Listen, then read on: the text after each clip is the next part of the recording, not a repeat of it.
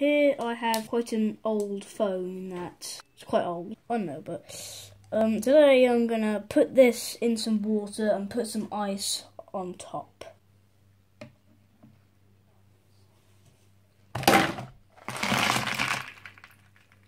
And then I have another phone here. This one here. It's an old, really old pink Samsung one. It's also put in here. And then have another phone here. It's a um um yep, that's also gonna go in there. And then I have I bought ice with a new Samsung one. And put some more ice in there.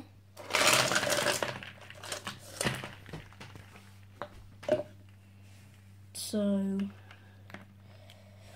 let's just see what happens to all these phones. Mm. They also have batteries and stuff in there. Like, uh, you can see the battery is wet.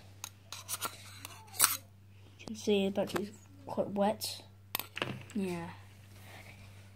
Mm.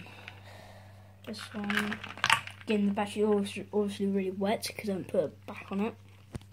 And also the screen is, so this probably won't work. Mm and this one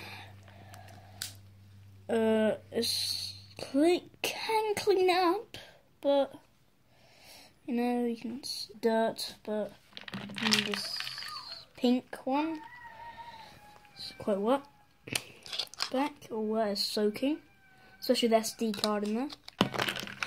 So I'll add this cup some ice cubes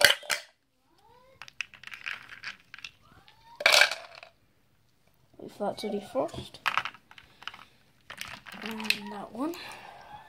This is really cold because it's been soaking wet water and some ice. I'll put that in here. As you can see, I'll put some ice in there. So when this melts, it'll be all wet and stuff in there. This is definitely not going to work after this.